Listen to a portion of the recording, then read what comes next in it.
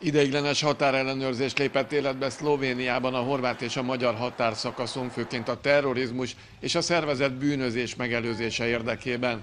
Biztonsági okokból 14, a magyar határon 2, a horváton 12 ellenőrző pontot hoztak létre.